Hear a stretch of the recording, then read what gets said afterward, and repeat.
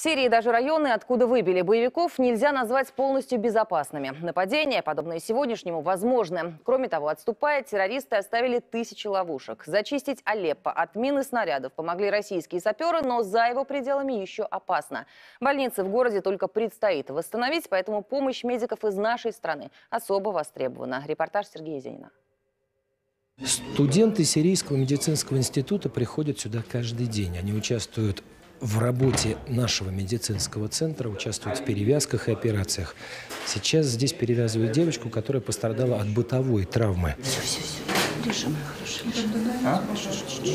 В семье 10 детей, Наима самая младшая. Они жили в Восточном Алеппо, где электричества до сих пор нет. Ночью огарок свечи упал на пол, дом выгорел дотла. Девочку с ожогами доставили в российский медицинский центр. Процентов где-то 15 поражения это верхние конечности и спина. В Восточном Алеппо нет воды. Привезенную в бочках расходуют только на питье и приготовление пищи. Дети не моются неделями. Многие бегают по улицам босиком. Конечно, любые раны плохо заживают. А здесь, в госпитале, перевязки два раза в день, противоожоговые мази, уколы антибиотиков. Ребенок нуждается в пересадке кожи, обширные рубцы могут возникнуть. Вот. И поэтому ей нужна специализированная помощь. Ну, все, что можем, мы делаем. У них нет денег, бедная семья. Это на вопрос сирийского студента, сколько стоит процедура, отвечают наши врачи. В госпитале всех лечат только бесплатно. За медикаменты, любые необходимые, тоже не нужно платить.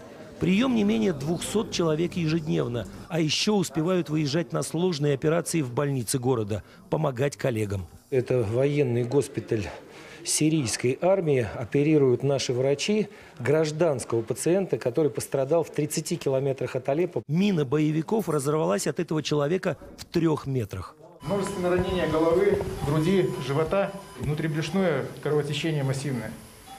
Шок третьей степени. Для студентов это не первая операция. Реагируют спокойно. В Алеппо люди уже привыкли к виду крови. За годы войны насмотрелись. Даже сейчас люди подрываются на минах, оставленных боевиками. Мы присутствуем на операциях, помогаем врачам. Это нужный опыт. Я именно поэтому поступила в медицинский. Родина нуждается сейчас в нас. Из-за войны очень ценные кадры уехали за границу. Операция длилась 6 часов. Все это время студенты не отходили от стола. У российских врачей огромный опыт. Присутствие на таких операциях – это очень ценно. Такое не забывается. Я сейчас аспирантка университета университета Алеппо, но моя цель – получить докторскую степень в российском вузе. Мне это посоветовал отец, который учился в Советском Союзе. Студенты из Сирии, особенно медики, часто приезжают в Россию. Поступают в аспирантуру, набираются опыта, но все равно возвращаются домой. Здесь нужны их знания, и здесь много работы, особенно сегодня. Сергей Зенин, Сергей Кузнецов, Дмитрий Зельвянский. Первый канал. Алеппо. Сирия.